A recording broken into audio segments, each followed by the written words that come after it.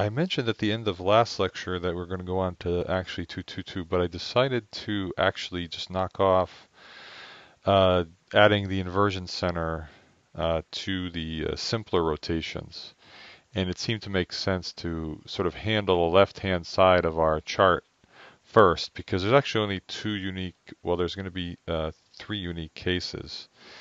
Um, but um, uh, I should say that actually what's going to happen here is we are going to also figure out that there is a four bar, and I'll come back to that. But it's one bar, three bar, and it's showing you also that these are different from four plus one, which is, you know, 4m, etc. Okay, so we're going to start by looking at cases that we know. This one's kind of tough to see actually. And so uh, we're going to do it by inspection because you start to realize that as this one and this one, this one though is more complicated because you say, aha, I can see that if I just take a fourfold, I add an inversion, I get the same, I get this uh, four over m thing we've already talked about. But it turns out after looking at three bar, you start to realize there's one unique structure over here that really we haven't been able to triangulate onto with in any way, and we're only going to get to it from looking at the three bar.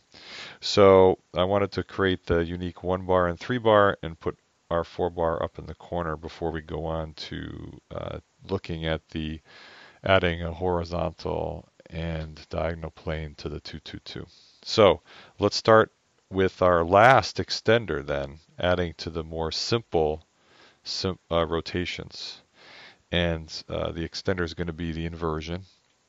And we'll look at uh, one, two, three, uh, and uh, four and six, right? But you know, really only spend time on uh, on on these uh, very important ones here. So one bar is pretty straightforward in the sense that um, we haven't we don't have any more complicated, um, uh, you know, rotational axis, right? So we can just go directly to our our figure.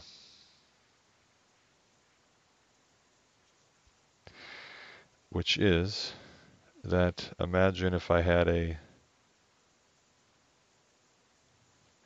I'm just going to draw this this is not a mirror plane but I'm just drawing a line here for purposes of guiding my drawing and to show what's happening. So we'll use green because it's a little fainter. So I have my upside motif. Actually, let's go back to what I liked before. Let's make that red. So it's on the upper side here, red, and then um, what happens is if I put an inversion center in the middle, it's just going to induce um, uh, open circle there. And remember, red is equal to right hand and uh, green is left hand. So it's a pretty simple one. Now, in our chart, they don't bother to draw the symmetry element one because it's so simple, but we should do it actually because what this says is I should draw a little circle in the middle, and that's it. And of course, I'm drawing that in a different color, which is hard to do in black and white, so they might think that's a motif, right? That's why they don't probably create this separate one, because just be confusing. But if we look at the symmetry element one, right, it would just have an inversion center in the middle of the sphere. And this object that's on the upside, the side that we're looking at, then gets sent through the inversion center in here and pops out on the other side. And that's it. That's one bar that's unique. Uh, it can't be generated from any other um, extender, and it can't. That's it. So there's a one bar. So that that we know is going to be unique. Uh, two bar, which we skip over, is the same as a 2m, and we'll talk about the 2m, the 4m, and the 6m uh, at the end, just to you know reinforce what we've already said a few times. Now you recall from our previous case um, that remember something very interesting about the 3 over m case. That um,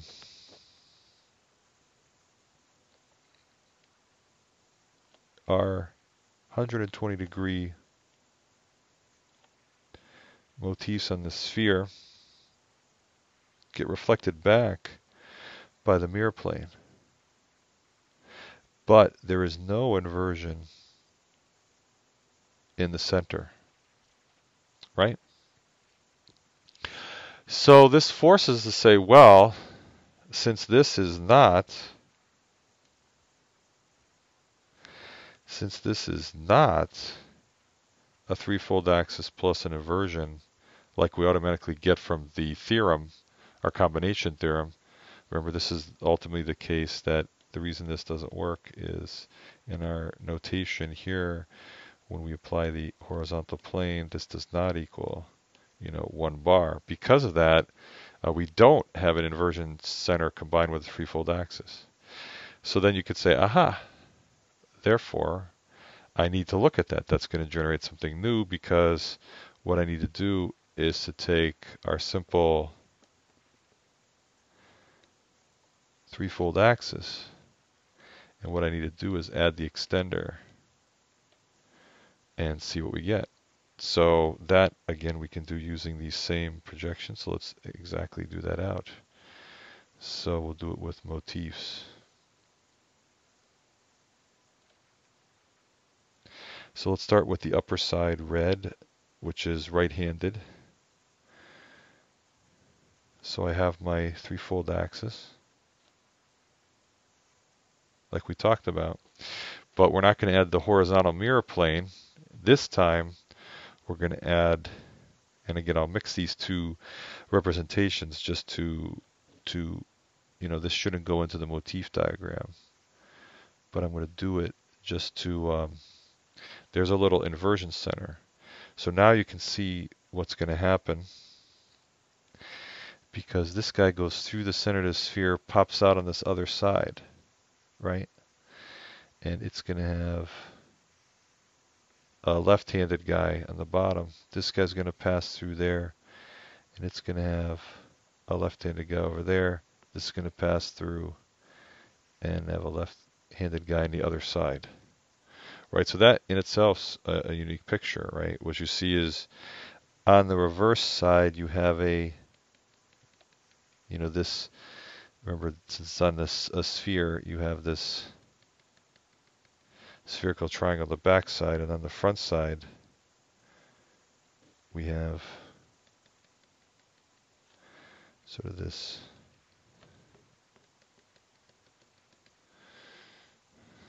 uh, spherical triangle here, right? So that is a unique new structure called uh, 3 bar. Now, if you think about the 3 bar, you could say, well, are there other combinations of things? You know, certainly if I take a fourfold axis and I just add an inversion center, you know, I get 4 over m, right? But let's think a little outside the box, which is the only way to arrive at this one, by the way. A, a red dot, and we're going to do a fourfold axis rotation, so we're going to go pi over 2. Let's do those colors in um, gray.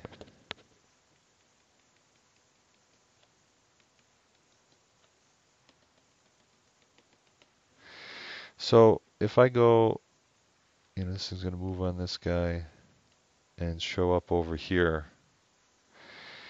And so what I'm going to do is, is over here. Now, if, if I just let this land here, then obviously I'm going to head towards my fourfold axis, right? But I am doing pi over 2, right? So I want to go pi over 2. But I want to fold in a little concept like our glide operator where we say, you know, can we have a unique uh, new kind of step, right? And, you know, there is a justification for this. If you let me go back to the case we're just at.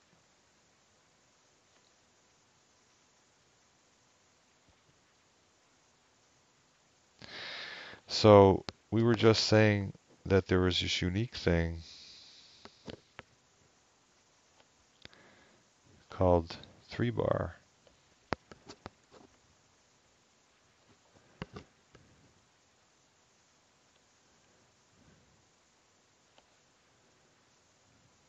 Right? And the way we got here was we had a threefold rotation and we added inversion. Okay, and we abbreviated that notation to 3 over bar. Now, um, if we do that same kind of thing with 4, like I said, you're just going to end up with 4 over m, right? Because if I just say, well, let's take 4 dots, and then I reflect them across there, we already did that one. But there's a unique thing you can see here that is important, buried in 3 bar. And that's the following. We haven't really talked about the full group theory aspect of this 3 bar. And so we generated these guys, uh, you know, from inversion through this center point by a simple threefold rotation. But we didn't go back and ask, well, what's the relationship, say, between this one and this one?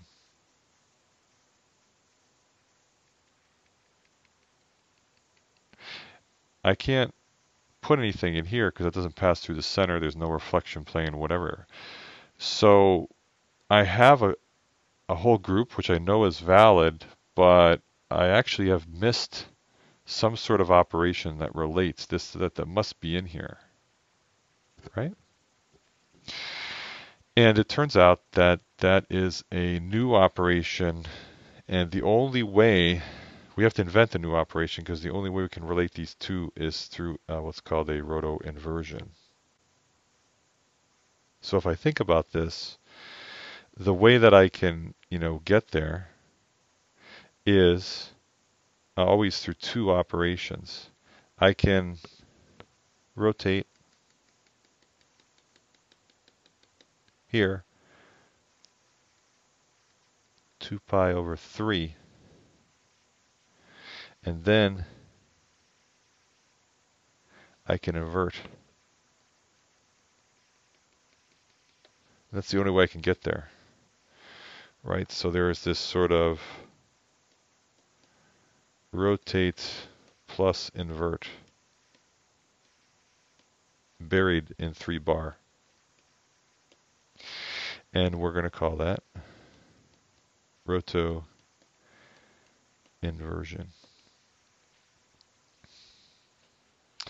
So you can see now why we're going to say, well, let's apply that concept uh, to other things. And of course, it doesn't produce uh, unique things in any of the crystallographic things we care about, except for this one. So if I take the roto inversion concept and now apply it to a pi over 2 rotation, and that's where the 4, pi, 4 bar comes in. So see here, the rotation part is 2 pi over 3, which is why it's 3. The inversion is why we have the bar on top, right? Now, the other way that we had written that before was just that, ah, you know, I produced these three guys because of threefold axis, and then I used an inversion center, right? Uh, but remember that before 3 plus i does not equal this, right? So it already tells you the three bar is kind of unique, and the reason it's unique is that it's a roto inversion, okay? So now let's apply that concept, roto inversion, 4 bar. Uh, so the 4 means that I'm going to rotate pi over 2.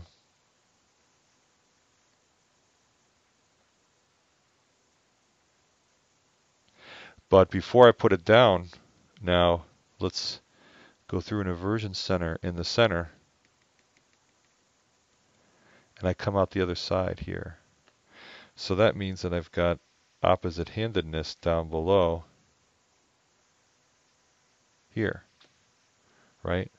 Now let's do the same sense again.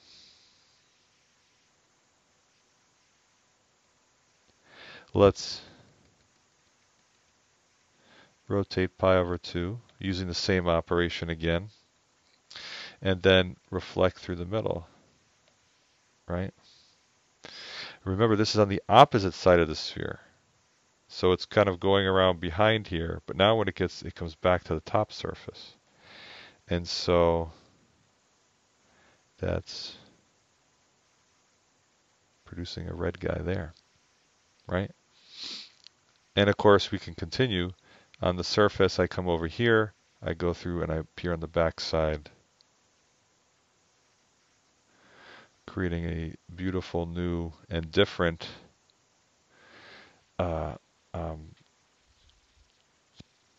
point group that I could not have gotten anywhere else, right? And that's why it's called four bar, is that it uh, is is a roto inversion. So it's taking, you know, one of these guys, and every relationship of one element to another is via um, a two-step process. Now what that means is that uh, I didn't draw this over here, but let's go back and think about the group. We had thought that the group originally here was, um, you know, we had a 2 pi over 3, remember threefold axis, right, and a so uh, in this case, we thought that this was going to be our end that, that, that was the limit, right? Because the way we generated this image when I did three bar was I just took the, the threefold rotation and then each individual element I inverted and that's how I got the pattern. But I had not come back and asked, well, um, is there a relationship between these two that can't be represented with the with the uh, operations that already exist? And the answer is, you know, we're missing the uh, the roto inversion, right? So um, how do we represent that in the group? Is that clearly we need to have a 2 pi over 3 rotation with uh, inversion and I have to do that for the other one as well to relate other elements. And so that is actually the full thing. So, you know, if we kind of hid this part, that's how we generated it. But if we had done an identity matrix, we would have discovered that when I relate uh, particular things there, I would have to come up with a new operation. And so we are forced to put in roto inversion. So now if we do the same thing for the 4 bar, if we come back, 4 bar, and we come back and let's look at the, you know, what we just generated. Uh, we would look at the elements of how uh, they're related to each other it's pretty clear that the way that I could relate these two is by a rotation here. Uh, sorry, a rotation here plus an inversion, right? Uh, I can relate this element here to this one through an a pi rotation, and I can relate this to an a pi rotation. So what this means is that if I were to think about this group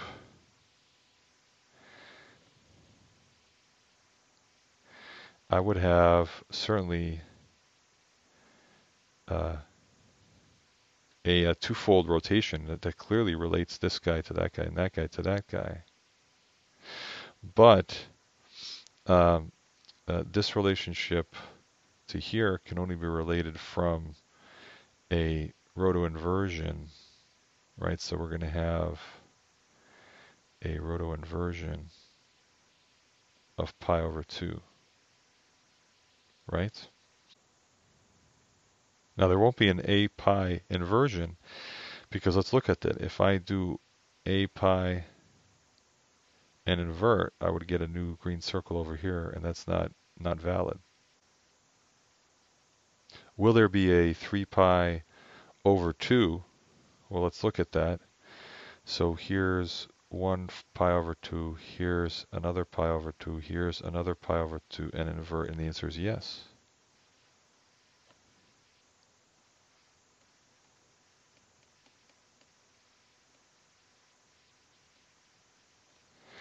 And so there are the elements for uh, 4 bar in, in the group.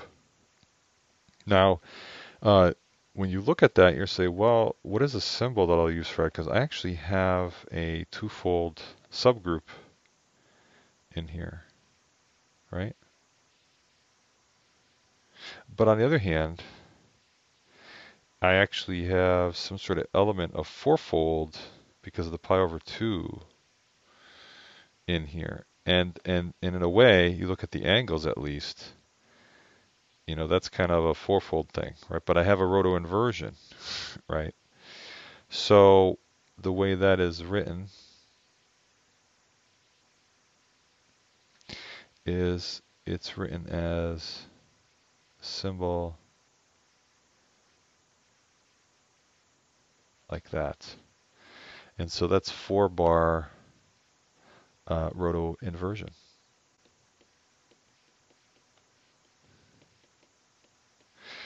So these are what I call n plus 1 bar, and they all result in actually 2 over m uh, symmetries, right? Now the way that we got into, and I'll just, this is no longer considered n plus 1, but just to distinguish what we just did, uh, what we saw was that actually uh, um,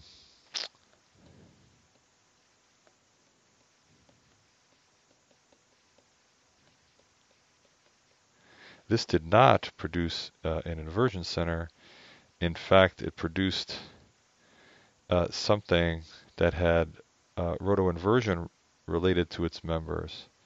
And so we represented that by a unique thing, right? And then we said, aha, let's go back. And it turns out that in the fourfold case, uh, we can actually then take rotoinversion our new two-step operation. And then we can take um, our fourfold axis and add in this uh, roto inversion, which is really not a fourfold axis anymore. So in a sense, it's kind of saying, you know, do a pi over two rotation, but, you know, use that. And that gave us uh, this unique character, which we didn't see the first time around because not it can't be derived from axial combination and, and it's in four bar. So that leads us to uh, this part of the diagram here where what we have just done is by adding an inversion center to the simple rotations, we created two new elements that are another one that we put at the end over here, which is not shown here, which will show when we go back to the to the bigger uh, all three panels together, is that we've added another one up here on the end because it's unique and it doesn't fit in anywhere else, and we call it four bar, and it has the unique character of this and it's got a uh, different kind of symbol there. So that's a unique thing that goes on the first line, right? It doesn't, um, it's a unique thing and belongs up there. And it's not a product of taking one of these other ones and adding an inversion center to it. Uh, it is using roto inversion to generate a fundamental group at the top.